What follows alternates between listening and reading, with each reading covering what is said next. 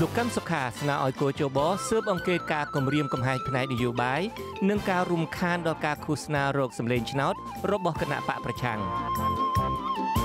គោជបនិងសង្គមស៊ីវិលអះអាងស្រដៀងគ្នាថាដំណើរការឃោសនាបោះឆ្នោតឃុំសង្កាត់ក្នុងរយៈពេល6ថ្ងៃដំបូងប្រព្រឹត្តទៅបានល្អ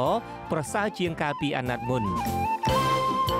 ប៉ូលីសខេត្តឧត្តរមានជ័យឃាត់ព្រះសង្ឃ4អង្គ គណៈព្រះអង្គកំពុងផ្សាយផ្ទាល់សកម្មភាពសមត្ថកិច្ចរារាំងអ្នកគាំទ្រគណៈបកប្រឆាំងមិនឲ្យចូលរួមយុទ្ធនាការឃោសនាបោះឆ្នោត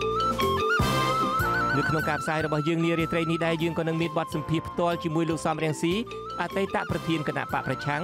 ជុំវិញជីវិតរបស់លោកក្រោយការលាលែងជីវភាពនយោបាយនិងព័ត៌មានដទៃទៀតពីទូរទស្សន៍អាស៊ីសេរីសម្រាប់ថ្ងៃសុក្រទី26ខែឧសភា ឆ្នាំ2017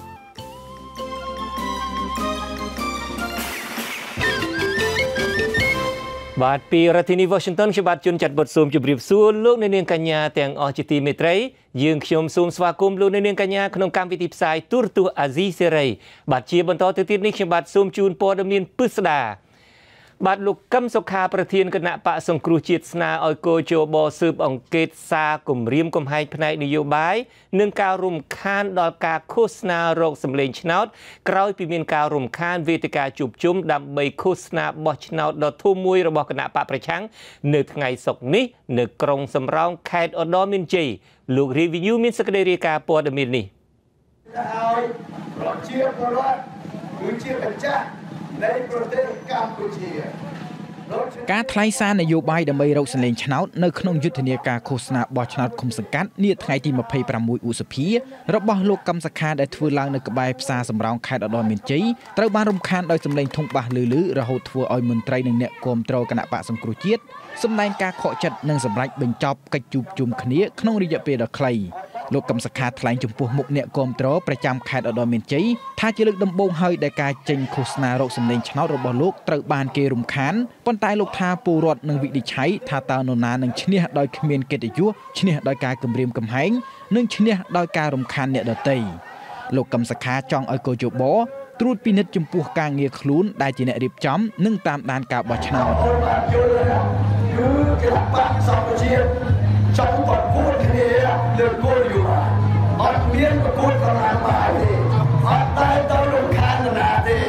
អត់ទៅប្រើអំពើហិង្សាទេបងប្អូនគណៈបកសង្គ្រោះជាតិឈ្នះគ្មានទេអំពើហិង្សាគ្មានទេការគំរាមកំហែងគ្មានទេការសម្បត្តិធ្វើសង្គ្រាមបងប្អូនគ្មានទេដាច់ខាតប្រធានក្រុមការងារគណៈបកសង្គ្រោះជាតិប្រចាំនៅខេត្តឧត្តរមានជ័យអះអាងថាកន្លែងដែលចាក់សម្លេងធុងបាសនោះគឺជាបន្ទាយទាហាននិងប៉ុស្តិ៍ប៉ូលីស ហើយមិនមែនជាផ្ទះពលរដ្ឋឡើយលោកថាខាងលោកកំពុងពិភាក្សាជាមួយអ្នកជំនាញច្បាប់របស់គណៈបកថាតើគូប្តឹងករណីនោះទៅកោជបឬយ៉ាងណាលោកបានថែមថាក្រៅពីនោះក៏មានអាជ្ញាធររួមទាំងទាហានជាច្រើនអ្នកដោយខ្លះបង្កប់ខ្លួននៅតាមផ្ទះពលរដ្ឋបានចុះខត់រថយន្តនិងគោយន្តរបស់សកម្មជននៅតាមផ្លូវនានាដែលព្យាយាមធ្វើដំណើរមកជួបជាមួយលោកកម្មសខានៅឯទីរួមខេត្តនៃក្រុងសំរោងអាញាធរបានយកលេសឆែកឆេរោគលិខិតស្នាមផ្សេងផ្សេង រហូតធ្វើឲ្យសកម្មជនជាងពាក់កណ្ដាលខកខានមិនអាចមកចូលរួមឃោសនាទាន់ពេលវេលាប៉ុន្តែប្រធានគណៈកម្មការរៀបចំការបោះឆ្នោតប្រចាំខេត្តឧត្តរមានជ័យលោកជីងសំភូថ្លែងថានៅពេលលោកឮសម្លេងធុងបាសរំខានដល់ការឃោសនាបោះឆ្នោតរបស់គណៈបកសង្គ្រោះជាតិភ្លាមលោកបានចាត់ឲ្យមន្ត្រីរៀបចំការបោះឆ្នោតក្រុងនិងអាជ្ញាធរចុះទៅដល់កន្លែងនិងស្នើសុំឲ្យបិទហើយក្រោយមកសម្លេងនោះក៏អន់ថយចុះមកបន្តិចដែរ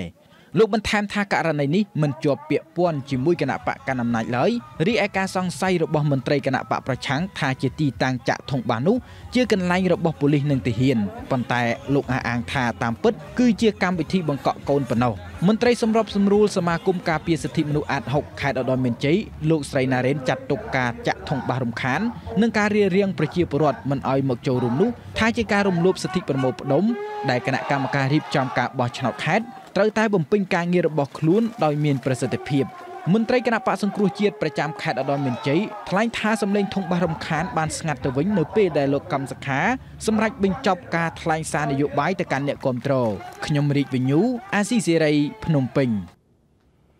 បាទនៅថ្ងៃនេះដែរលោកកឹមសុខាប្រកាសដែរថាគណៈបកសង្គ្រោះជាតិនឹងទទួលបានសម្លេងគ្រប់គ្រងយ៉ាងតិច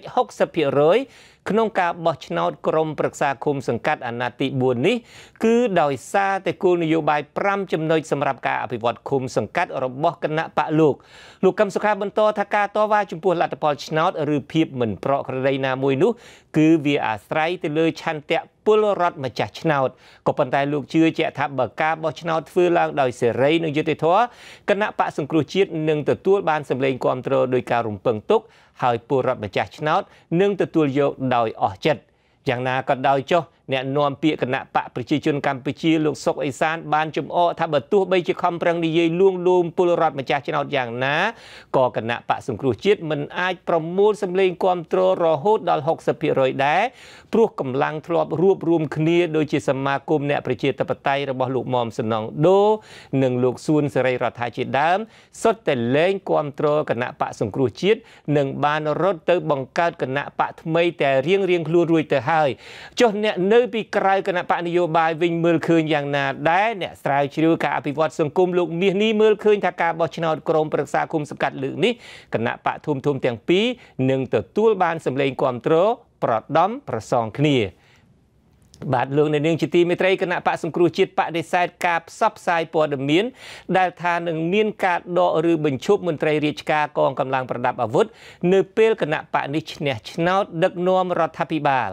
សេចក្តីថ្លែងការណ៍របស់គណៈបកសង្គ្រោះជាតិចេញនៅថ្ងៃសុក្រនេះសរសេរថាគណៈបក មិនទទួលខុសត្រូវចំពោះការផ្សព្វផ្សាយទាំងនោះឡើយដោយសំអាងថាជាព័ត៌មានមិនពិត និងមានការកាត់តសម្លេងរបស់ថ្នាក់ដឹកនាំគណៈបកសង្គ្រោះជាតិដោយមូលបង្កាច់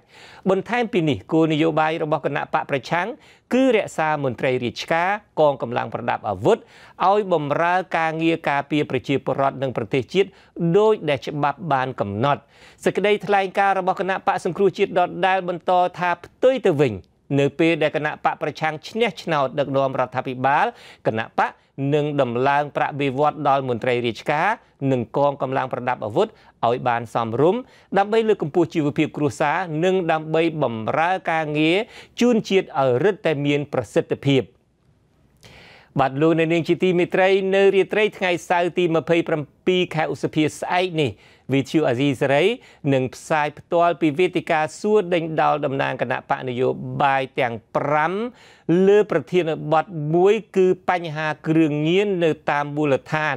ការផ្សាយតាក់ទងអំពីបញ្ហាគ្រឿងញៀននេះគឺចាប់ផ្ដើមពីម៉ោង7:30នាទីដល់ម៉ោង8:30នាទី ក្នុងកម្មវិធីវិទ្យុរបស់អាស៊ីសេរីចំណែកសម្រាប់កម្មវិធីទូរទស្សន៍វិញដែលនឹងចាប់ផ្ដើមពីម៉ោង8:35នាទីរហូតដល់ដល់ម៉ោង9:30នាទីវិញកម្មវិធីនេះនឹងបើកឲ្យមានការសាកសួរដេញដោលលើប្រធានបទដោយសេរី ចំពោះអ្នកដែលចង់ចូលរួមសួរទៅតំណាងគណៈបកនីមួយៗបាទសូមអរគុណ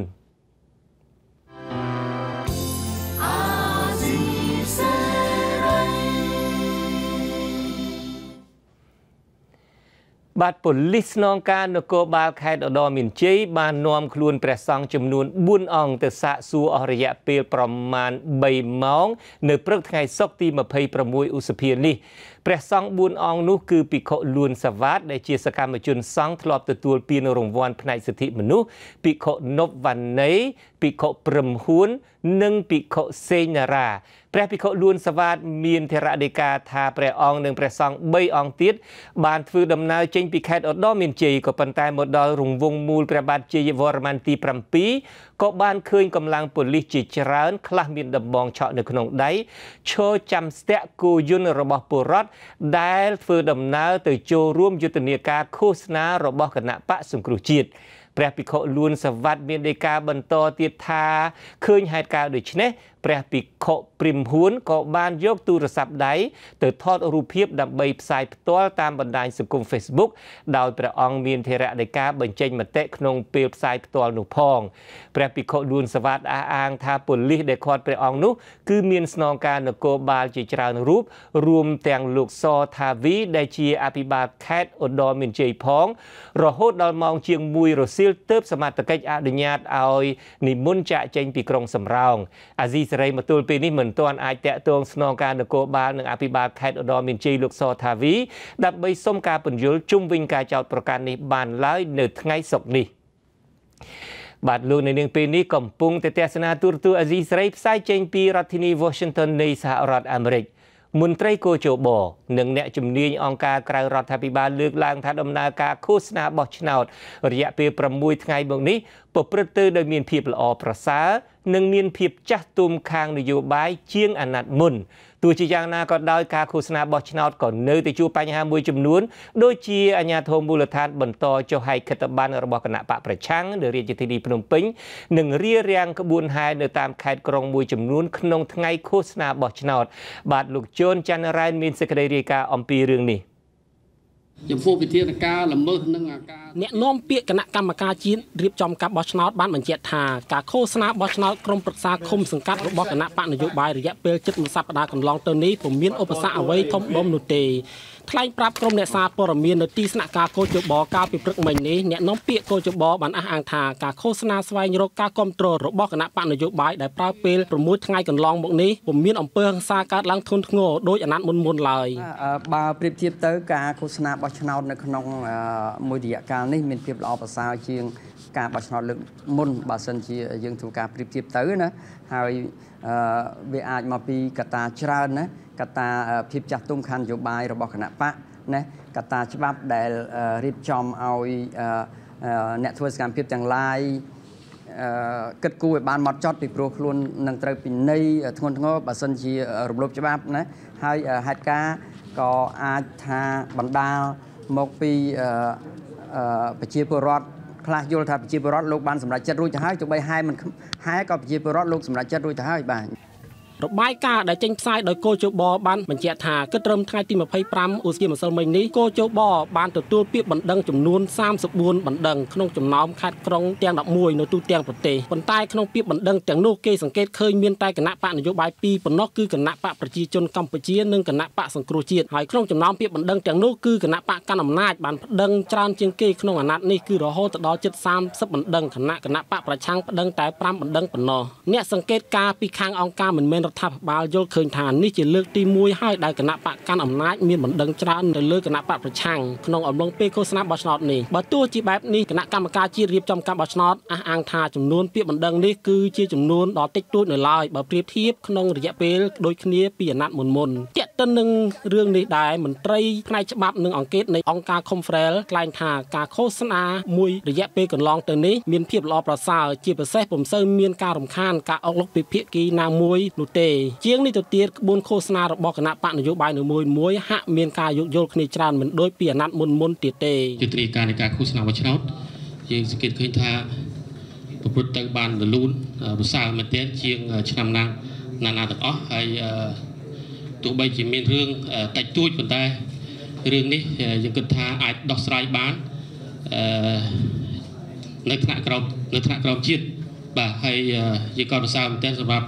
ការងាររបស់គូជបគណៈអ្នកជំនាញកិច្ចការបោះឆ្នោតនិងគូជបយល់ឃើញប្រាប់ផែគ្នាថាបរិយាកាសឃោសនាបោះឆ្នោតមានភាពវិជ្ជមានប៉ុន្តែទស្សនវិជ្ជាជាទូទៅគេសង្កេតឃើញថាមានកងកម្លាំងនគរបាលនិងអាជ្ញាធរមូលដ្ឋានបានធ្វើសកម្មភាពរំខានមួយចំនួនដល់គណៈបកប្រឆាំងដូចជាហែកខិត្តប័ណ្ណនៅរាជធានីភ្នំពេញនិងរារាំងក្បួនហែកនិងចាក់សម្លេងរំខានដល់វេទិកាឃោសនារបស់គណៈបកប្រឆាំងនៅតាមបណ្ដាខេត្តក្រុងមួយចំនួននៅក្នុងថ្ងៃឃោសនានេះដែរច្បាប់ស្ដីពីការបោះឆ្នោតជ្រើសរើសក្រុមប្រឹក្សាឃុំសង្កាត់បានកំណត់ទិសដៅការឃោសនាបោះឆ្នោតសម្រាប់អាណត្តិទី4នេះមានរយៈពេលតែ14ថ្ងៃដោយគិតចាប់ពីថ្ងៃទី20ខែឧសភានិងបញ្ចប់ទៅវិញនៅថ្ងៃទី2ខែមិថុនាការហែកក្បួនឃោសនាគឺអនុញ្ញាតត្រឹមតែ2ដងហើយចំណែកឯពេលវេលាដែលនៅសេសសល់នោះគឺគណៈបកនយោបាយនីមួយៗអាចចេញឃោសនាបានត្រឹមរង្វង់ឃុំសង្កាត់របស់ខ្លួនប៉ុណ្ណោះខ្ញុំជុនច័ន្ទរ៉ែនអាស៊ីសេរីភ្នំពេញ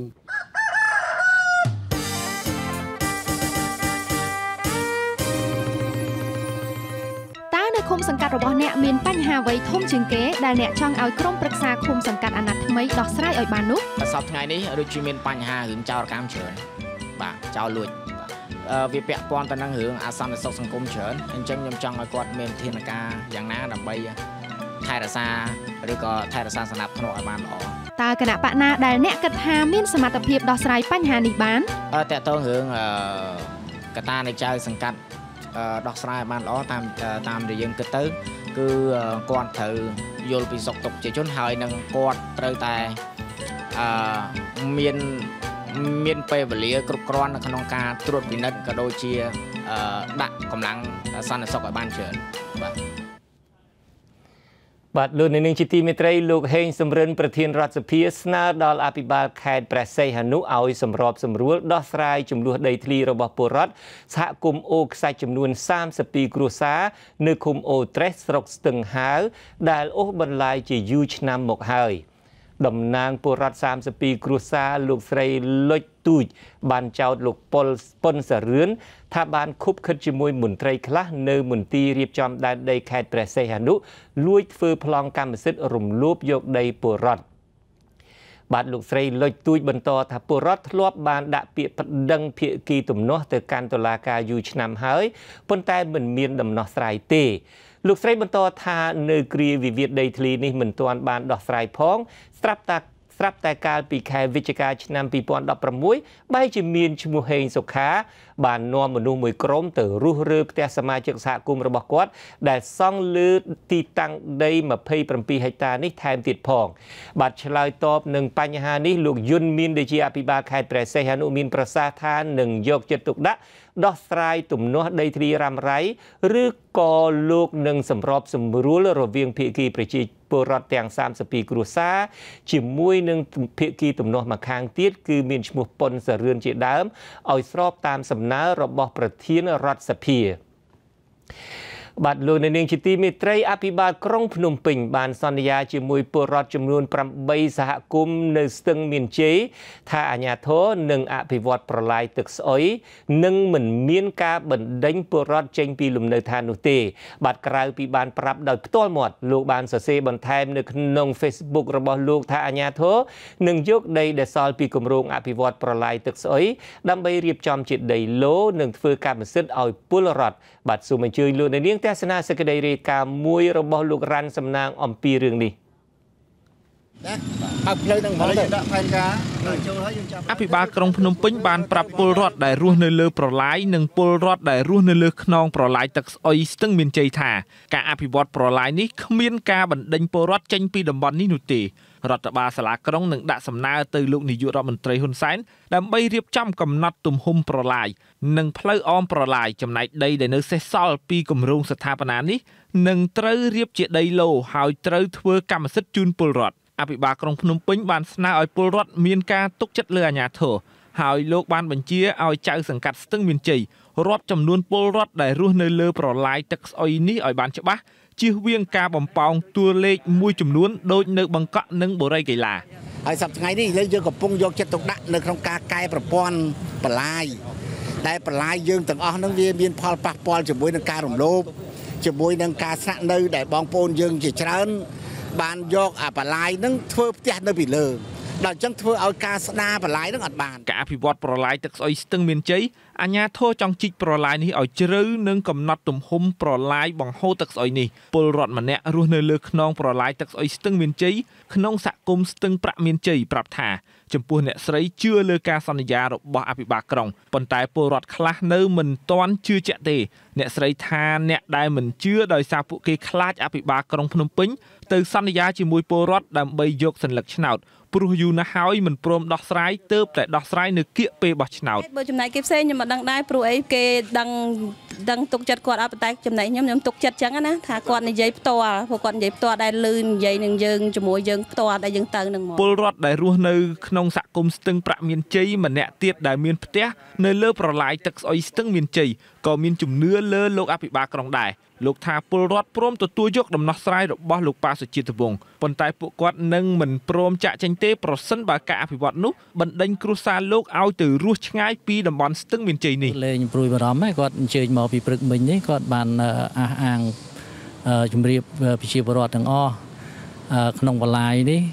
កំព្រួយដូចពីមុនមកតែឮថាគេដេញចេះចុះឥឡូវនេះគឺគាត់អភិវឌ្ឍឲ្យនឹងកន្លែងនាយកប្រតិបត្តិអង្គការសមត្ថៈកម្ពុជាលោកអៀងវុធីប្រាប់ថាបើទោះជាមានការសន្យាដោយផ្ទាល់ពីអភិបាលក្រុងភ្នំពេញក៏ដោយពលរដ្ឋនៅមិនទាន់ជឿជាក់ទាំងស្រុងទេលោកថាពលរដ្ឋនៅតែមានការបារម្ភការសន្យាពេលនេះគឺដើម្បីចង់បានសិលឹកឆ្នោតលុះណាតែមានការលាយលាក់ជាអសរដើម្បីបញ្ជាក់ជាផុសតាងទើបពលរដ្ឋមានទំនុកចិត្តទាំងស្រុងលើអាជ្ញាធរ អភិបាលក្រុងលោកប៉ាសុជាតិវង្សថាដីដែលអាជ្ញាធរធ្វើប្រតិនកម្មឲ្យនឹងមានទំហំ5គុណ8ម៉ែត្រហើយនៅសល់មុខផ្ទះ1ម៉ែត្រក្រោយផ្ទះកន្លះម៉ែត្រពលរដ្ឋដែលរស់នៅលើខ្នងប្រឡាយនិងនៅលើប្រឡាយទឹកស្អុយស្ទឹងមានជ័យមាន8សហគមន៍ក្នុងនោះមានសហគមន៍ស្ទឹងប្រាក់មានជ័យស្ទឹងមាសមានជ័យសាមគ្គីមានជ័យថ្មីសវណ្ណភូមិមានជ័យព្រះច័ន្ទក្រហម ស្ត្រីសាមគ្គីមានជ័យមានជ័យស្ត្រីអភិវឌ្ឍនិងសហគមន៍សន្សំប្រាក់ដើម្បីអភិវឌ្ឍ ខ្ញុំវ៉ាន់វ៉ាន់ដេតអាស៊ីសេរីភ្នំពេញ បាទសេចក្តីរាយការណ៍អំបញ្ញមិញនេះគឺជារបស់លោកវ៉ានវ៉ាន់ដេតមិនមែនរបស់លោករ៉ាន់សំណាងទេប្រហែលជាខ្ញុំខានឮរបាយការណ៍របស់លោករ៉ាន់សំណាងពេកបានជាច្រឡំមាត់បាទសុំទោសបាទលោកនៅនឹងជាទីមេត្រីអាស៊ីសេរីនឹងបន្តរៀបចំវេទិកាពិសេសចំនួន2ទៀតដើម្បីឲ្យពលរដ្ឋជាម្ចាស់ឆ្នោតរួមមានក្រុមនិស្សិតបញ្ញវន្តនិងមន្ត្រីសង្គមស៊ីវិលរួមទាំងពលរដ្ឋទូទៅប្រមាណ50នាក់សួរដេញដោលដោយផ្ទាល់ជាមួយមេដឹកនាំគណៈបកនយោបាយចំនួន5អំពីសមត្ថភាពរបស់បកទាំងនោះក្នុងការដោះស្រាយបញ្ហាចម្បងចម្បងក្នុងសង្គមនៅពេលគណៈបកជាប់ឆ្នោតតំណាងគណៈបកទាំង5រូបនោះមានមកពីគណៈបកប្រជាជនកម្ពុជាគណៈបកសង្គ្រោះជាតិគណៈបកហ្វុនស៊ីនពេជ្រគណៈបកសម្ព័ន្ធដើម្បីប្រជាធិបតេយ្យនិងគណៈបកខ្មែររួបរวมជាតិដែលនឹងមកធ្វើជាវេទិកាបាទដែលមកធ្វើជាវាគ្មិនក្នុងវេទិកានេះបាទវេទិកានេះនឹងផ្សាយចេញពីសន្តាគារ Sunway នៅក្រុងភ្នំពេញដែលនឹងប្រព្រឹត្តទៅនៅថ្ងៃទី27ខែឧសភា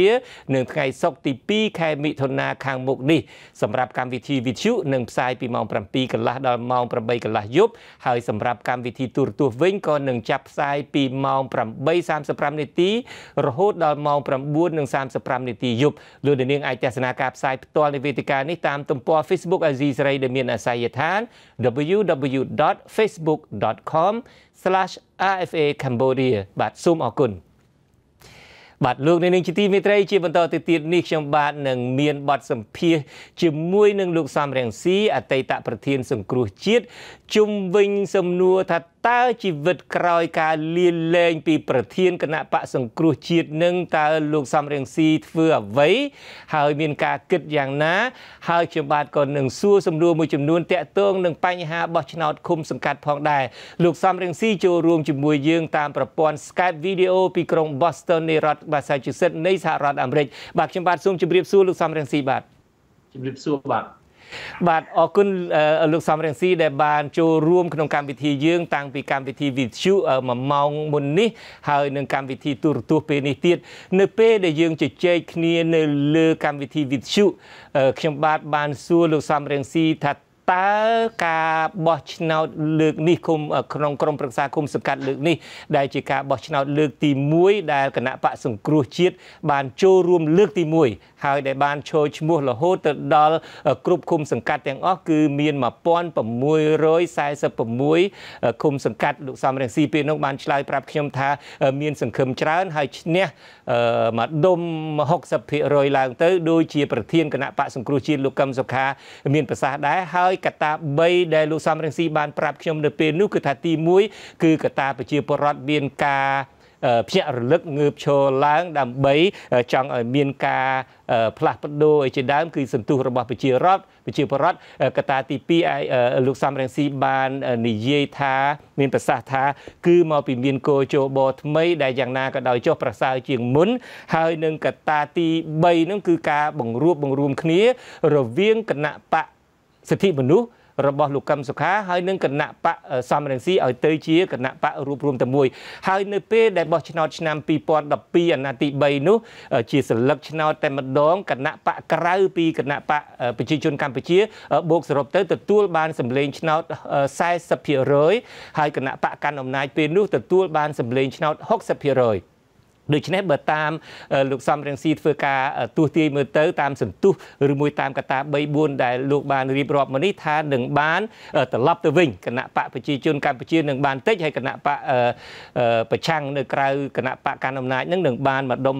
60%សំណួរបន្ទាប់របស់ខ្ញុំនៅពេលនេះថាតើបើសិនជាការបោះឆ្នោតគុំសង្កាត់នេះខាងគណៈបកសង្គ្រោះជាតិឈ្នះមានសម្លេងច្រើនជាង50%ឬរហូតដល់60%ហ្នឹងតើនឹងមានអ្វីផ្លាស់ប្ដូរនៅក្នុងនយោបាយថ្នាក់ជាតិដែរទេបាទសូមអញ្ជើញបោះឆ្នោតឃុំសង្កាត់នេះ គឺមិនមែនដើម្បីសម្រេចគោលនយោបាយថ្នាក់ជាតិទេ គឺដើម្បីរៀបចំឃុំសង្កាត់បំរើជីវភាពរស់នៅប្រចាំថ្ងៃរបស់ប្រជាពលរដ្ឋនៅមូលដ្ឋានតែខ្ញុំសូមកែតម្រូវបន្តិចខ្ញុំមិនដែលបញ្ចេញតួលេខ ថាគណៈបកសង្គ្រោះជាតិនឹងទទួលបានប្រមាណភាគរយនៃសម្លេងក្នុងការបោះឆ្នោតនោះទេខ្ញុំមិនចង់លើកពីតួលេខលម្អិតទេពីព្រោះអ្វីអ្វីគឺអាស្រ័យលើអ្នកចូលរួមការបោះឆ្នោតបើបងប្អូនជនរួមជាតិក្មួយក្មួយយុវជនអញ្ជើញទៅចូលរួមបោះឆ្នោតកាន់តែច្រើនកាន់តែល្អបើការចូលរួមការបោះឆ្នោតពីសំណាក់ប្រជាពលរដ្ឋជាពិសេសពីសំណាក់យុវជនណា បើការចូលរួមនោះ គឺមានកម្រិតខ្ពស់ពេលនោះសម្លេងគណៈបកសង្គ្រោះជាតិនឹងមានកម្រិតខ្ពស់ដែរអញ្ចឹងលទ្ធផលជាក់ស្ដែងគឺអាស្រ័យទៅអាស្រ័យលើការចូលរួមរបស់បងប្អូននៅខ្ញុំមានការបារម្ភខ្ញុំមិនទាន់មិនទាន់សប្បាយចិត្តហួសហេតុទេពីព្រោះខ្ញុំដឹងថាទោះជាក្នុងទឹកចិត្តប្រជាពលរដ្ឋមានការគ្រប់គ្រងចំពោះគណៈបកសង្គ្រោះជាតិដល់ណាក៏យ៉ាងណាក៏ដោយតែបងប្អូនខ្លះ យល់ឃើញថាទេមិនចាំបាច់ទៅបោះឆ្នោតឃុំសង្កាត់នឹងទេចាំឆ្នាំក្រោយឆ្នាំក្រោយ2018បោះឆ្នោតបដូររដ្ឋាភិបាលតែម្ដងមិនចាំបាច់បដូរឃុំសង្កាត់ពេលនេះទេខ្ញុំ សូមអំពាវនាវសូមជម្រាបបងប្អូនយ៉ាងទទូចថាសូមបងប្អូនកុំកុំគិតអញ្ចឹងសូមអញ្ជើញទៅបោះឆ្នោតឃុំសង្កាត់តាំងពីឆ្នាំ2017នេះនៅសល់តែ4 10ថ្ងៃទៀតនេះតើតែយើងឈ្នះទៅអសង្គ្រោះជាតិឈ្នះឃុំសង្កាត់សិនបានអាចធានាជោគជ័យរបស់យើងនៅឆ្នាំ2018អញ្ចឹងអ្វីអ្វីគឺអាស្រ័យលើការចូលរួមរបស់បងប្អូនក្នុងការបោះឆ្នោតថ្ងៃអាទិត្យទី4ខែមិថុនាខាងមុខ ប៉ុន្តែឆ្លើយទៅទាំងឆ្លើយទៅនឹងសំណួរលោកជុនច័ន្ទបុតខ្ញុំថានឹងមានការផ្លាស់ប្ដូរជាវិជ្ជមាន តាំងពីឆ្នាំ2017នេះ ចំពោះជីវភាពរស់នៅរបស់ប្រជាពលរដ្ឋ ខ្ញុំចង់និយាយតែពីបញ្ហាសេដ្ឋកិច្ចទេពីព្រោះអ្នកដឹកនាំគណៈបកសង្គ្រោះជាតិបានលើកឡើងហើយនិយាយអំពីរដ្ឋបាលវិធានការផ្សេងផ្សេងប៉ុន្តែរឿងសេដ្ឋកិច្ចរឿងថវិកាសម្រាប់ឲ្យឃុំសង្កាត់នីមួយនីមួយយកមកប្រើប្រាស់នឹងជាកត្តាសំខាន់ជាទីបំផុតពីព្រោះគេនិយាយថាវិមជ្ឈការវិមជ្ឈការគឺផ្ទេរសិទ្ធិអំណាចសិទ្ធិសម្រេចពីថ្នាក់លើមកថ្នាក់ក្រោម តែផ្ទេរតែសិទ្ធិសម្រេចតែអត់មានផ្ទេរលុយអត់មានផ្ទេរថវិកាអត់មានប្រយោជន៍ទេពីព្រោះគ្មានលុយគ្មានថវិកាมันអាចធ្វើអ្វីបានទេអញ្ចឹងហើយបានគណៈបកសង្គ្រោះជាតិនិយាយឲ្យមានមូលដ្ឋានច្បាស់លាស់ថាបើចង់ឲ្យឃុំសង្កាត់ មានសិទ្ធិសម្រេចពិតប្រកបតាក់ទងទៅនឹងបញ្ហាផ្សេងផ្សេងដែលដែលនាំមកនៅការរីកចម្រើនដល់ជីវភាពប្រជាពលរដ្ឋ ទាល់តែមានថវិកាអញ្ចឹងហើយបានយើងមានគម្រោងរៀបចំតាំងពីឥឡូវនេះធ្វើម៉េចឲ្យឃុំសង្កាត់នីមួយៗទទួលបានថវិកា50ម៉ឺនដុល្លារក្នុងមួយឆ្នាំ មិនមែនពី30000ក្រន់អត់ក្រន់ទេតើតែដំឡើងដល់50ម៉ឺនដុល្លារក្នុងមួយឆ្នាំសម្រាប់ឃុំសង្កាត់នីមួយៗ ហើយក្នុងឋានៈខ្ញុំជាអ្នកជំនាញខាងសេដ្ឋកិច្ចខ្ញុំមានបទពិសោធន៍ទាំងនៅក្នុងប្រទេសទាំងនៅក្រៅប្រទេសខ្ញុំធ្លាប់ធ្វើរដ្ឋមន្ត្រីក្រសួងសេដ្ឋកិច្ចកាលពីអាណត្តិទី1ខ្ញុំសូមជម្រាបបងប្អូនថាធ្វើទៅបាន50ម៉ឺនដុល្លារឲ្យទៅឃុំសង្កាត់នីមួយៗយកទៅប្រើប្រាស់ដើម្បីបម្រើផលប្រយោជន៍ប្រជាពលរដ្ឋគឺទី1ជាការចាំបាច់ហើយទី2គឺធ្វើទៅបានធ្វើទៅបានយ៉ាងងាយកាលខ្ញុំធ្វើជារដ្ឋមន្ត្រីក្រសួងសេដ្ឋកិច្ចហិរញ្ញវត្ថុ ខ្ញុំយល់ហើយឃើញកត់សម្គាល់យ៉ាងច្បាស់ថាបើយើងបំបត្តិអំពើពុករលួយ តែបន្តិចនៅថ្នាក់លើនោះយើងអាចប្រមូលថវិកាបានច្រើនណាស់យកមកជួយប្រជាពលរដ្ឋនៅមូលដ្ឋានយកមកកសាងប្រទេសជាតិនៅមូលដ្ឋានយកមកជួយអ្នកក្រីក្រមានមូលនិធិជួយដោះស្រាយបញ្ហារស់នៅប្រចាំថ្ងៃរបស់ប្រជាពលរដ្ឋ ហើយ50ម៉ឺនដុល្លារក្នុងមួយឆ្នាំនេះបើយើងគុណនឹង1600ឃុំ1600ផ្លាយ1646នោះគឺចំនួនថវិកានោះ គឺត្រឹមតែ800លានដុល្លារទេ800លានដុល្លារក្នុងថវិកាជាតិមិនច្រើនទេប្រហែលតែ20%ឥឡូវរដ្ឋាភិបាលសប្តាហ៍នេះគឺជារដ្ឋាភិបាលពុករលួយផងខ្ជះខ្ជាយផងកញ្ជើធ្លុះផងចាយវាយខុសរឿងច្រើនណាស់បើយើងរៀបចំថវិកាជាតិដូចខ្ញុំបានធ្វើកាលពីអាណត្តិទី1ខ្ញុំជឿថា800លានដុល្លារ20%នៃថវិកាសប្តាហ៍នេះគឺប្រមូលបានយ៉ាងងាយប្រមូលបានយ៉ាងងាយខ្ញុំសូមធានា ដូច្នេះមេឃុំចៅសង្កាត់អាណត្តិក្រោយនេះនឹងមានថវិកា50ម៉ឺនដុល្លារតាមឃុំសង្កាត់នីមួយៗដើម្បីយកមកជួយប្រជារាស្ត្របម្រើផលប្រយោជន៍ប្រជារាស្ត្រតាមឃុំសង្កាត់នីមួយៗក្នុងរយៈពេល1ឆ្នាំ50ម៉ឺនដុល្លារបាទបាទអរគុណប៉ុន្តែខ្ញុំបាទដឹងហើយថាការបោះឆ្នោតនេះគឺកម្រិតក្រមប្រឹក្សាឃុំសង្កាត់ក៏ប៉ុន្តែសំណួររបស់ខ្ញុំថាតើបើសិនជាការកើនឡើងនៃចំនួនឃុំសង្កាត់របស់គណៈបកសង្គ្រោះជាតិតើវាអាចនឹងជះឥទ្ធិពលអីខ្លះទៀតដល់ស្ថានភាពនយោបាយថ្នាក់ជាតិអាដាម វានឹងធ្វើឲ្យតុល្យភាពនយោបាយមានការប្រែប្រួលភ្លាមភ្លាមមួយរំពេចពេលណាបងប្អូន ជនរួមជាតិក្មួយក្មួយយុវជនយុវតីអញ្ជើញទៅបោះឆ្នោតឲ្យបានច្រើនបោះឆ្នោតឲ្យបានទាំងអស់គ្នាឬស្ទើរតែទាំងអស់គ្នាកុំខានពេលនោះគណៈបកសង្គ្រោះជាតិនឹងមានអធិបុលពីព្រោះឃើញថាប្រជារាស្ត្រគ្រប់គ្រងអ្នកទៅបោះឆ្នោតច្រើនលើលោកគ្រប់គ្រងគណៈបកសង្គ្រោះជាតិ ពេលនោះគណៈបកសង្គ្រោះជាតិគឺត្រូវគេគោរពត្រូវគេយកចិត្តទុកដាក់មិនអាចមើលងាយរំលងដូចសពថ្ងៃទេពីព្រោះឥឡូវនេះគេអាងគេអាងថាសម្លេងគេច្រើនសម្លេងបានមកពីការលួចសរឹកឆ្នោតហ្នឹងការកែតួលេខហ្នឹងតាំងពីឆ្នាំមុនមុនមកប៉ុន្តែឆ្នាំ2017នេះដោយលោកជុនច័ន្ទបុតរំលឹកអំបញ្ញមិញ គឺมันអាចលួចបន្លំសន្លឹកឆ្នោតកែតួលេខបានដូចមុនទេពីព្រោះយើងមានកោជបថ្មីក្រនបើជាងមុនឆ្ងាយគណៈបកសង្គ្រោះជាតិមានតំណាងរបស់ខ្លួននៅក្នុងកោជបថ្មីមានតំណាងអភិក្រិតឯករាជ្យហើយគណៈបកប្រជាជនមិនអាចជិះសេះលេងដៃធ្វើអ្វីបានតាមចិត្តដូចមុនទេដូច្នេះมันអាចมันអាចធ្វើអីដែលជាការបំភ្លៃឆន្ទៈប្រជារាស្ត្រដូច្នេះបើបងប្អូនអញ្ជើញទៅបោះឆ្នោតឆន្ទៈបងប្អូននឹងគឺត្រូវឆ្លោះបញ្ចាំងយ៉ាងច្បាស់ នៅក្នុងលទ្ធផលនៃការបោះឆ្នោតហើយគណៈបកសង្គ្រោះជាតិពេលនៅគណៈបកសង្គ្រោះជាតិទទួលបានសម្លេងច្រើនលើលុបគណៈបកគេមួយទៀតគឺចុះអធិពលហើយมันអាចក្អេងឆ្អាងมันអាចជីសេះលេងដៃធ្វើអីបានតាមចិត្តដូចមុនទេពីព្រោះសំអាងលើអីមានមូលដ្ឋានអីបើប្រជារាស្ត្រគ្រប់គ្រងគណៈបកសង្គ្រោះជាតិពេញទំហឹងច្រើនលើលុបគឺគណៈបក សង្គ្រោះជាតិនឹងឡើងអធិពលរបស់ខ្លួនហើយគណៈបកគេមួយទៀតនោះនឹងចុះអធិពលរបស់ខ្លួនពេលហ្នឹងយើងមិនបដិសេធទេយើងនឹងចាប់ផ្ដើមនិយាយគ្នារកផ្លូវណាមួយដែលយើងអាចដើរជាមួយគ្នាដើរដើម្បីធានាឲ្យមានការផ្ទេរអំណាចផ្ទេរអំណាចដោយសន្តិវិធីតាមបែបបទប្រជាធិបតេយ្យផ្ទេរអំណាចនៅថ្នាក់មូលដ្ឋានជាមុនសិនហើយរៀបចំការផ្ទេរអំណាចនៅឆ្នាំ2018ផ្ទេរអំណាចថ្នាក់ជាតិ ដូច្នេះនៅថ្នាក់មូលដ្ឋានយើងគ្រាន់តែដូចជាវឹកវើអញ្ចឹងណាយើងគ្រាន់តែប្រមូលបទពិសោធន៍ថាឃើញទេទោះជាមានការផ្លាស់ប្ដូរមេឃុំចៅសង្កាត់មកពីគណៈបកខុសគ្នាក៏ការផ្ទេរអំណាចនេះធ្វើដោយសន្តិវិធីដល់ឆ្នាំ2018ផ្ទេរអំណាចថ្នាក់ជាតិគឺនឹងផ្ទេរដោយសន្តិវិធីអញ្ចឹងដែរអត់មានសង្គ្រាមអត់មានអីទេសូមបងប្អូនកុំភ័យខ្លាចពីពួកអ្នកដែលប្រើពាក្យសម្ដីគម្រាមកំហែងនេះគឺអត់មានរឿងអីនិយាយមិនប្រើប្រាជ្ញាមិនប្រើគំនិត ប្រើតែភាសាគម្រាមកំហែងមានន័យថាជាការសារភាពអ្នកដែលប្រើភាសាគម្រាមកំហែងគឺគេសារភាពថាគេចាញ់ផ្លូវចិត្តផ្លូវគំនិតផ្លូវប្រាជ្ញាគឺគេចាញ់ដូច្នេះគេនៅតែផ្លូវសាច់ដុំផ្លូវកងទ័ពគេយកមកប្រើប៉ុន្តែការប្រើភាសាគម្រាមកំហែងនេះជាការសារភាពថាគេចាញ់ហើយផ្លូវប្រាជ្ញាផ្លូវគំនិត គឺគេចាញ់សង្គ្រោះជាតិហើយហើយប្រជារាស្ត្រលោកមិនចូលចិត្តទេអ្នកណាដែលប្រើភាសាគម្រាមលោកចង់បានអ្នកណាដែលមានគំនិតជឿនលឿនគំនិតច្បាស់លាស់គំនិតស្នេហាជាតិគំនិតយុត្តិធម៌អញ្ចឹងហើយបាទខ្ញុំជឿជាក់ថាពេលណាបងប្អូនអញ្ជើញទៅបោះឆ្នោតឲ្យបានច្រើនកាន់តែច្រើនកាន់តែល្អនឹងមានការប្រែប្រួលឆ្នាំ2017នឹងមានការផ្លាស់ប្ដូរជាវិជ្ជមាន2017ហើយ2018នឹងមានការផ្លាស់ប្ដូរថ្នាក់ជាតិតែម្ដង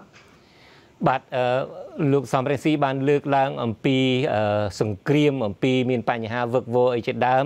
អានឹងក៏យើងឮសូរច្រើនណាស់អំពីប្រមុខដឹកនាំរដ្ឋាភិបាលបច្ចុប្បន្នថាអាចនឹងមានសង្គ្រាមបើសិនជាគណៈបកប្រជាជនកម្ពុជាមិនជាប់ឆ្នោតអីជាដើមខ្ញុំបាទមិនដឹងថាការដែលលើកឡើងនេះមានអ្នកខ្លះបានចោទថាជាការគំរាមកំហែងអ្នកខ្លះបានចោទថាជាការដែលលោកភ័យអីជាដើមក៏ប៉ុន្តែចំពោះលោកសំរៀងស៊ីវិញដែលយ៉ាងណាក៏ដោយចុះលោកទើបតែនឹងលាលែងពីតំណែងប្រធានគណៈបកសង្គ្រោះជាតិនឹងប្រមាណខែនឹងមុនមកទេតើបើសិនជាគណៈបកសង្គ្រោះជាតិជាប់ឆ្នោតតើលោកអាចធានាបានទេថានឹងមានសង្គ្រាមតើមានអីអះអាងថាគណៈបកសង្គ្រោះជាតិជាប់ឆ្នោតទៅមិនមានសង្គ្រាមហើយនឹងមានសុខសន្តិភាពបាទទីមួយខ្ញុំសូមបញ្ជាក់ថាទោះជាខ្ញុំបានលាលែងពីតំណែងប្រធានគណៈបកសង្គ្រោះជាតិក៏ដោយ តែខ្ញុំអត់ទៅណាទេគឺខ្ញុំនៅតែសង្គ្រោះជាតិ100%ដដែលហើយខ្ញុំត្រៀមខ្លួនធ្វើអ្វីអ្វីគ្រប់សពបែបយ៉ាងទាំងអស់ស្របច្បាប់ឲ្យតែបំរើផលប្រយោជន៍ប្រជារាស្ត្រទោះជាខ្ញុំមានតំណែងអត់តំណែងមានតំណែងជាអ្វី មិនសំខាន់ទេអ្វីដែលសំខាន់គឺទឹកចិត្តរបស់យើងឧត្តមគតិរបស់យើងភាពស្មោះត្រង់របស់យើងការបដិញ្ញាចិត្តរបស់យើងក្នុងន័យហ្នឹងគឺខ្ញុំអត់មានទៅណាទេខ្ញុំនៅពីក្រោយគណៈបកសង្គ្រោះជាតិខ្ញុំនៅចាំបំរើប្រជារាស្ត្រការពារផលប្រយោជន៍ជាតិការពារផលប្រយោជន៍ប្រជារាស្ត្រហើយជាពិសេសសង្គ្រោះ ប្រទេសជាតិសង្គ្រោះទឹកដីដែលយើងស្រឡាញ់សង្គ្រោះព្រៃឈើដែលយើងស្រឡាញ់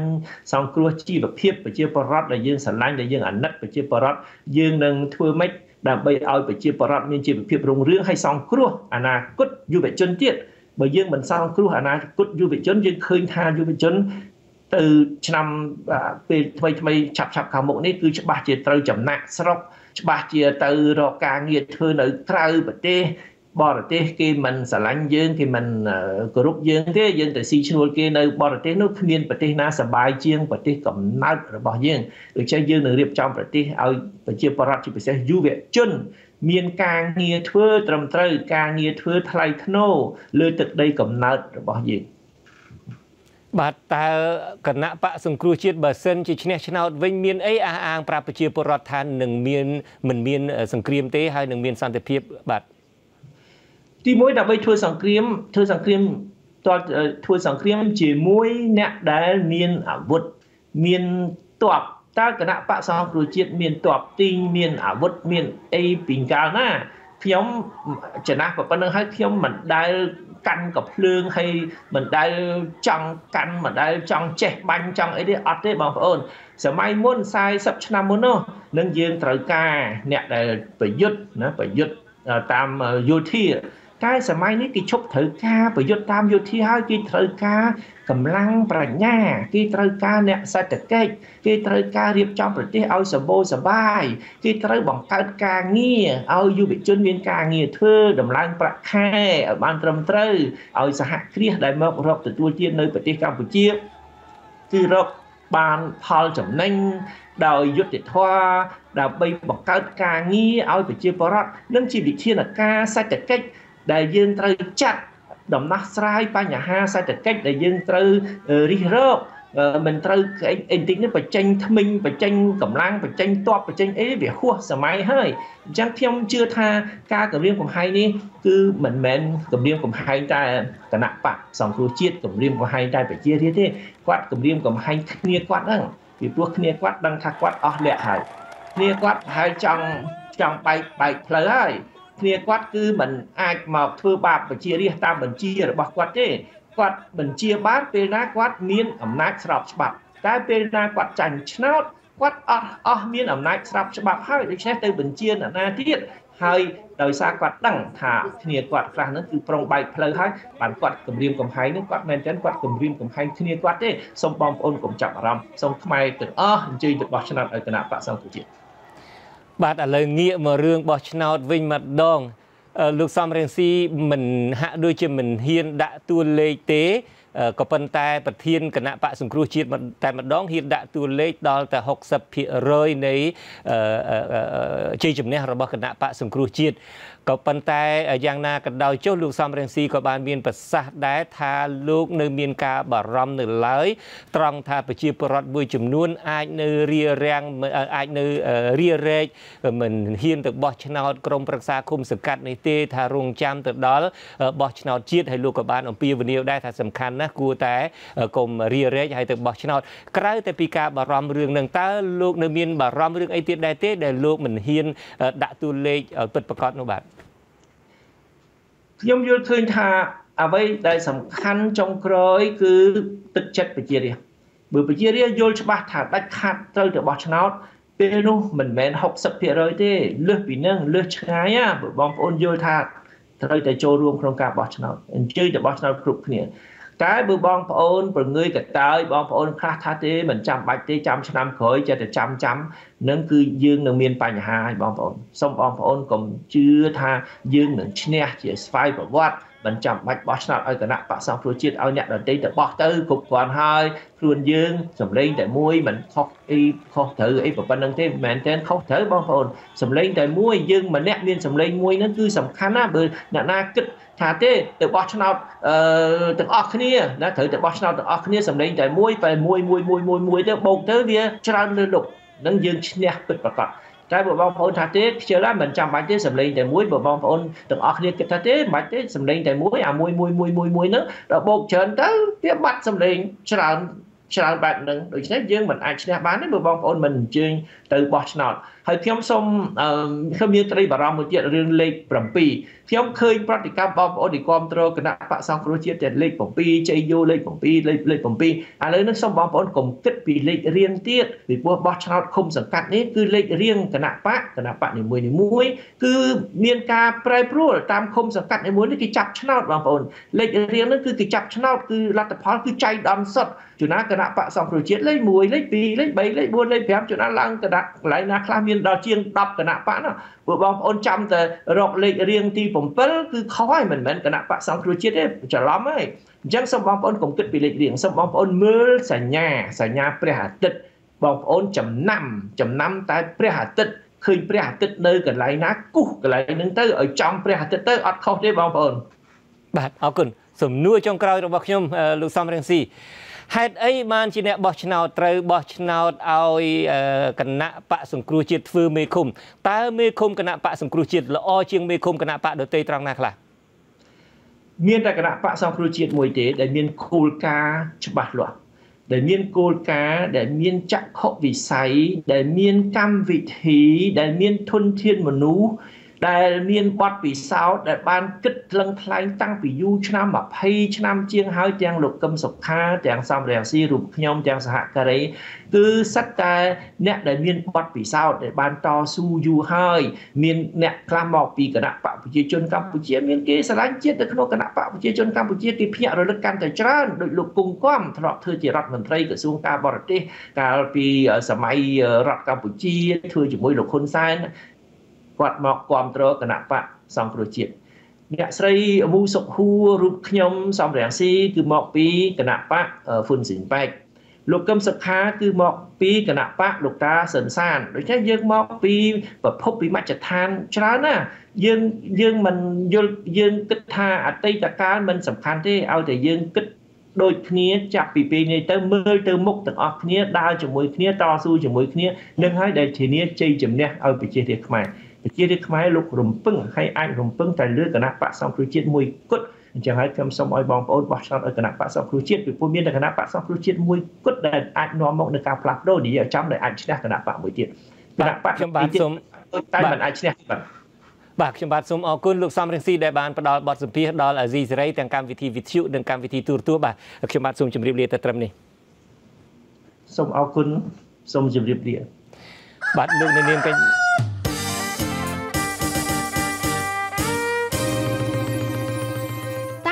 សង្កាត់របស់អ្នកមានបញ្ហាអ្វីធំជាងគេដែលអ្នកចង់ឲ្យក្រុមប្រឹក្សាឃុំសង្កាត់អាណត្តិថ្មីដោះស្រាយឲ្យបាននោះផ្លូវថ្នល់ពិបាកណាស់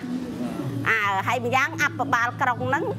ថាធ្វើឲ្យហើយមុនបោះឆ្នោតតែឥឡូវចិត្តបោះហើយមិនទាន់មានបានចលនាផលអីទេហើយម្យ៉ាងទៀតរឿងស្រែភ្លឺឲ្យយួនចូលធ្វើពិបាកបីគោស្រុកប្រជាជនប្រជាពលរដ្ឋខ្មែរយើងហ្នឹងឲ្យដោះស្រាយពីរឿងយួនចូលធ្វើនៅទឹកដីខ្មែរ ទី1ទី2គឺផ្លូវថ្នល់និងភ្លើងតើគណៈបកណាដែលអ្នកគិតថាមានសមត្ថភាពដោះស្រាយបញ្ហានេះបានខ្ញុំថាមិនបានចាំខ្ញុំបោះខ្ញុំបោះខ្ញុំអត់ថាខ្ញុំមិនហ៊ានថាទេកែលៃងាប់ហើយខ្ញុំអាចស្អុយងៅស្អី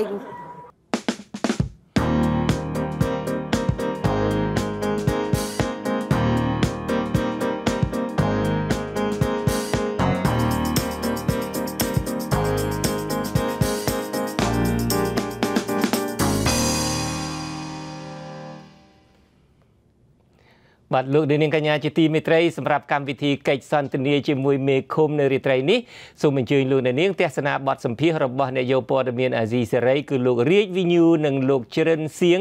មេឃុំទឹកវិលស្រុកស្អាងខេត្តកណ្ដាលមកពីគណៈបកប្រជាជនកម្ពុជាតាក់ទងទៅនឹងបទពិសោធន៍ការងារជាមេឃុំកាលពីពេល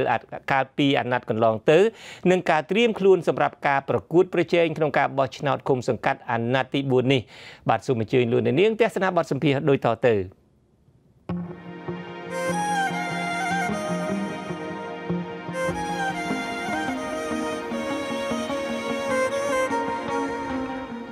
នេះគឺជាឃុំទឹកវិលស្រុកស្អាងខេត្តកណ្ដាលឃុំនេះគឺមានចំនួន10ភូមិនិងមានប្រជាជនរស់នៅជាង10000នាក់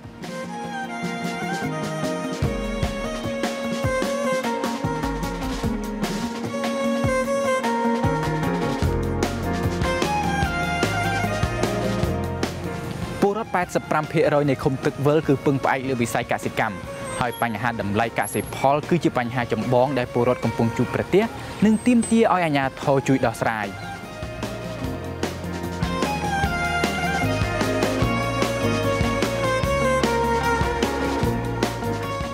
ឃុំនេះគឺមានលោកជ្រិនសៀងជាមេឃុំលោកគឺជាបេក្ខជនមកពីគណៈបកប្រជាជនកម្ពុជាហើយលោកបានឈ្នះឆ្នោតធ្វើជាមេឃុំអស់រយៈពេល3អាណត្តិហើយបន្តិចទៀតនេះខ្ញុំនឹងសម្ភាសលោក ដើម្បីសាកសួរថាតើលោកបានដោះស្រាយបញ្ហាអ្វីខ្លះជូនប្រជាពលរដ្ឋនិងអំពីបទពិសោធន៍ការងារព្រមទាំងផែនការយុទ្ធសាស្ត្ររបស់លោកសម្រាប់ត្រៀមការបោះឆ្នោតក្រុមប្រឹក្សាគុំសង្កាត់អាណត្តិទី4ខាងមុខនេះ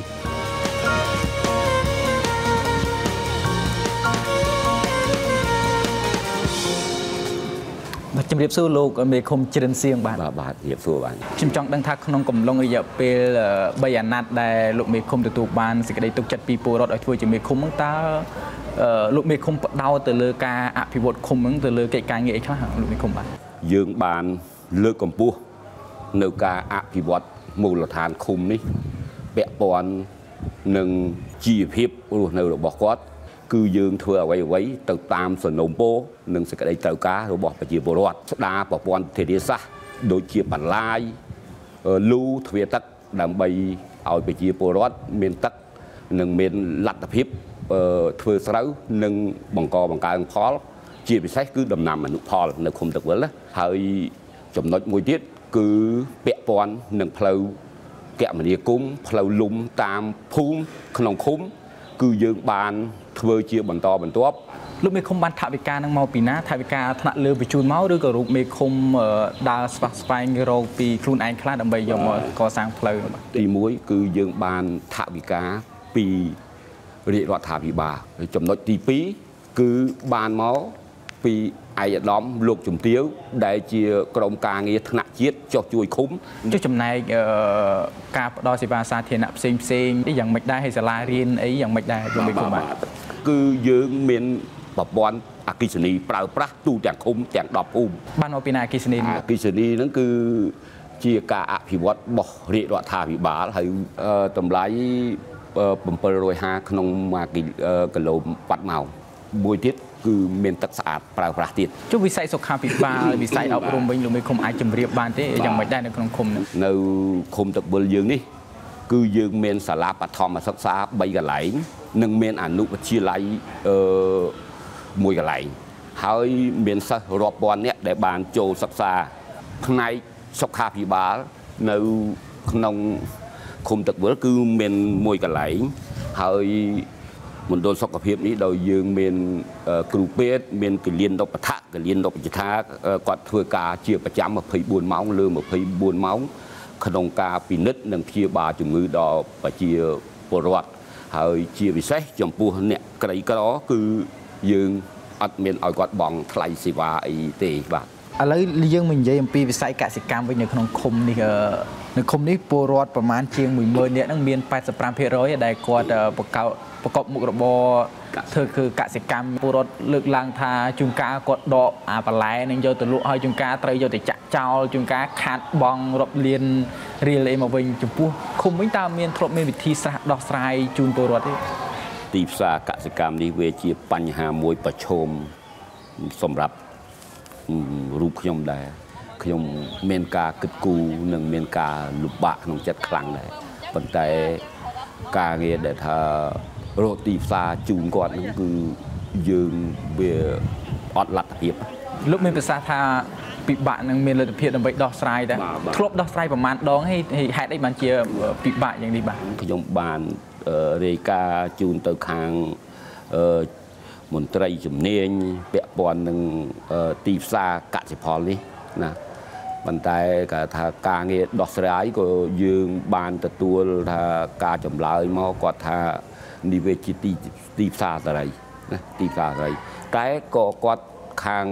មន្ត្រីជំនាញខាងលើលើហ្នឹងមានកសិកម្មខេត្តមានអីចឹងគឺគាត់ថាគាត់នឹងរៀបចំរៀបចំគេថាផែនការយុទ្ធសាស្ត្រដើម្បី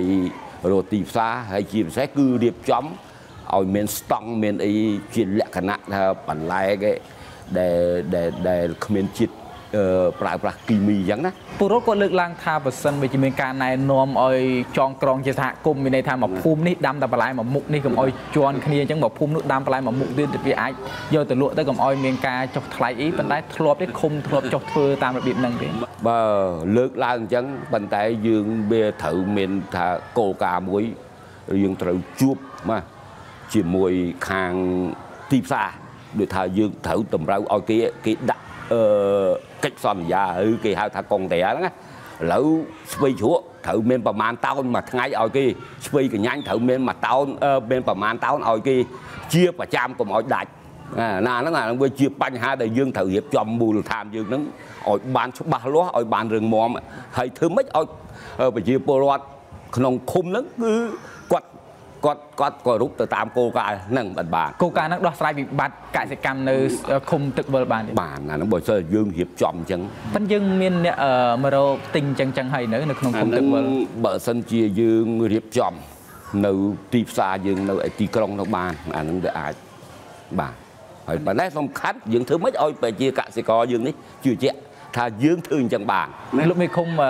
មានវិធីសាស្ត្រអីអាចធ្វើឲ្យពួកគាត់ជឿជាក់ដែរមើលទៅវាសំខាន់វាតាក់ទងពេលវេលា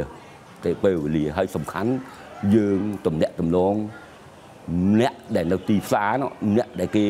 តម្រូវការយកពីយើងឲ្យច្បាស់លាស់អញ្ចឹងលោកអ៊ំយល់ថាថ្នាក់លើជាអ្នកមានទូនាទីដើម្បីឲ្យមានទីផ្សារច្បាស់លាស់នៅខាងលើនោះបាទអាហ្នឹងទី1គឺខាងថ្នាក់ជាតិបាទខាងថ្នាក់ជាតិបាទ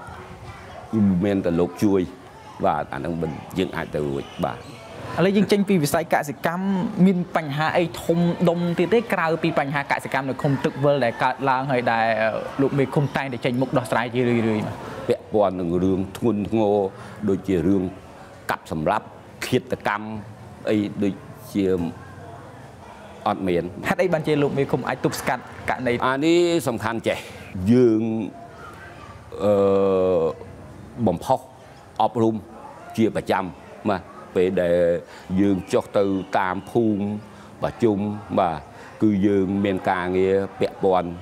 នឹងអង្គើហ ংস ាក្នុងគ្រួសារហើយពាក់ព័ន្ធនឹង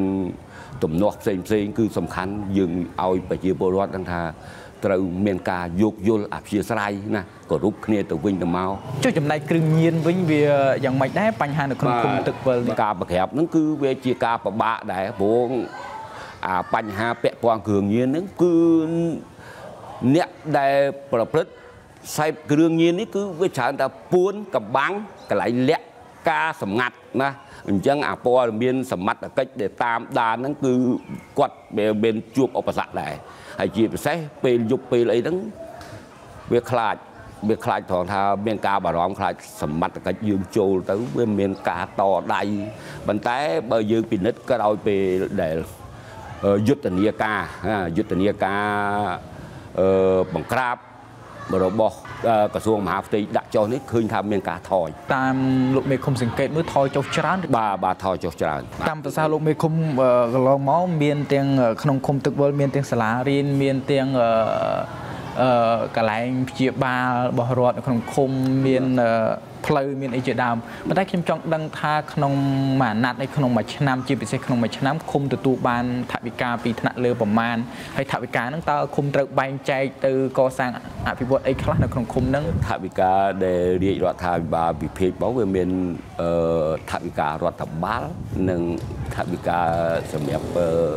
យើងអភិវឌ្ឍជាង100លាន100 708លានសម្រាប់លោកមេឃុំថវិកាប៉ុណ្ណឹងគ្រប់គ្រាន់សម្រាប់យកមកអភិវឌ្ឍឃុំនេះវាមិនអាចថាយើងធ្វើមួយឆ្នាំឲ្យវាចប់ឲ្យហើយលើដោះស្រាយការលំបាករបស់ប្រជាជនបានទាំងអស់បានទេអានេះគឺយើងធ្វើទៅតាម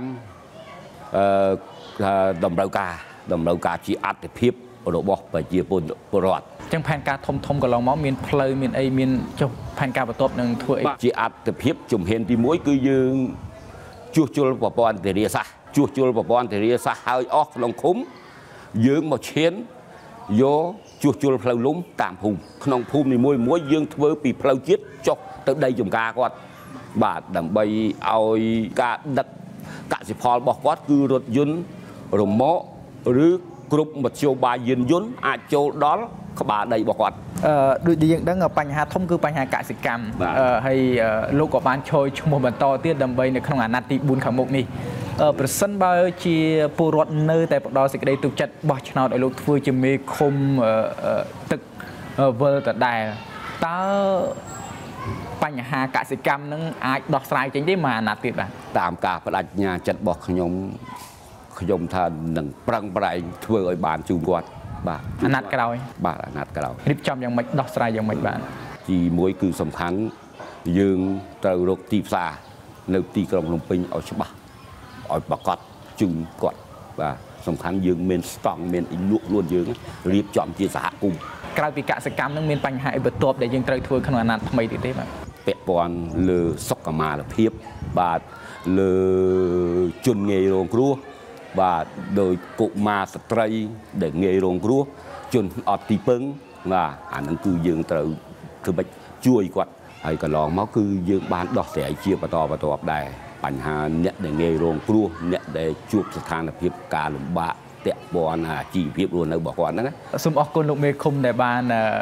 ផ្ដល់បទសម្ភាសមកអាស៊ីសេរីហើយនឹងសូមជូនពរសូមឲ្យលោកមេឃុំសម្រេចបាននៅអ្វីដែលជាការបដិញ្ញារបស់លោកមេឃុំនៅអាណត្តិក្រោយទៀតបាទសូមអរគុណសូមជម្រាបលោកមេឃុំបាទ បាទលោកនាងទើបទៅបានទស្សនាបទសម្ភាសរបស់នាយកព័ត៌មានអាស៊ីសេរីលោករីវីញូជាមួយនឹងលោកមេឃុំជ្រិនសៀងមេឃុំទឹកវិលស្រុកស្អាងខេត្តកណ្ដាលមកពីគណៈបកប្រជាជនកម្ពុជាហើយលោកក៏នឹងឈរឈ្មោះជាបេក្ខជនក្រុមប្រឹក្សាគុំសង្កាត់អាណត្តិទី4នេះទៀតបាទបាទលោកនាងកញ្ញាទើបទៅបានទស្សនាទូរទស្សន៍អាស៊ីសេរីផ្សាយចេញពីរដ្ឋធានី Washington នៃសហរដ្ឋអាមេរិកខ្ញុំបាទជួនច័ន្ទបុតព្រមទាំងក្រុមការងារទាំងអស់នៃទូរទស្សន៍និងវិទ្យុអាស៊ីសេរីសូមជូនពរលោកនាងកញ្ញានិងក្រុមគ្រួសារទាំងអស់ឲ្យជួបប្រកបទៅនឹងសេចក្តីសុខគ្រប់ប្រការខ្ញុំបាទសូមអរគុណនិងសូមជម្រាបលារីត្រីសុស្ដី